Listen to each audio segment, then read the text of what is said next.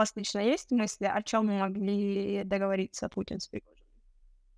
Давайте так, на переговорах, где 35 человек, они ни о чем договориться не могли, потому что там, где есть 35, там невозможно договариваться. Это все спектакль для этих 35 человек.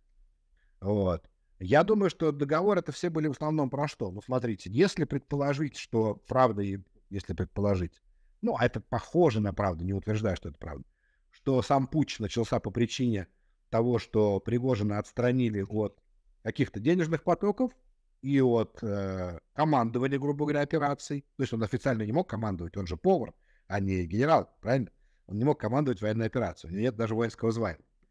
Но де-факто он командовал, потому что вот Суровикин сидел его человек, которого он назначил, и через Суровикина он командовал войной в Украине в том числе. Ну, не, не в одно лицо, он был одним из людей, которые командуют войной.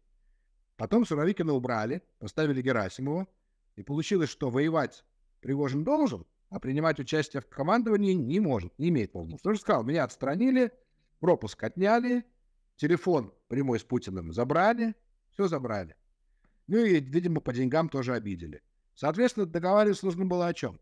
Верните деньги, не в смысле те, которые конфисковали, это-то копейки, а верните денежные потоки, которые мне там. Я думаю, что мы действительно могли быть должны несколько миллиардов долларов. Там же речь-то шла о ну, миллиарде в месяц, например, да, или больше. Поэтому могли быть должны несколько миллиардов долларов. Ему это раз. И он, грубо говоря, привел 35 человек сказать, Володя, посмотреть этим людям в глаза, им кушать нечего. Ты мне зажал 3 миллиарда долларов, а им нечем людей кормить, правильно? Вот. Свои там какие-то договоренности по Африке и другим историям, по вооружениям.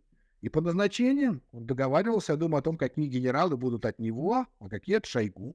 И вот смотрите, как уже вроде бы Герасимова отстранили от командования снова. А вот интересный вопрос, да? Кто? Вот кто мог отстранить Герасимова? Давайте вместе подумаем вслух. Ведь чтобы его отстранить, нужно кто-то такое решение принять. Э, Шойгу министр обороны. Если Шойгу, как министр обороны, отстраняет Герасимова, говорит, Герасимов плохо командует войсками в Украине. Или даже Путин, как главнокомандующий, говорит, Герасимов не справился, плохо, отвратительно командует войсками в Украине. А как он тогда генштабом командует, подождите? В смысле, а генштабом хорошо, просто в Украине плохо? Так не бывает. То есть получается, что кто, э, тот, кто такое решение примет, генштабе оставить, а с Украины убрать, он заведомо как-то влезает в какую-то стрёмную коррупцию, да, и нет, никто не может взять на себя такое решение, получается, публично. Поэтому сейчас его, это решение будет какое-то очень такое тайное. А я думаю, что там Пригожин как раз, теперь уже мы понимаем, что Пригожин как раз и договорился о том, что вот какой-то там другой генерал будет командовать войсками в Украине. А сейчас же пригожинские войска, они же никуда не уехали из Украины, они же сидят в ДНР. Ну, приедет туда снова Пригожин, он сказал, следующие победы у нас будут, следующие бои. Поедет дальше воевать.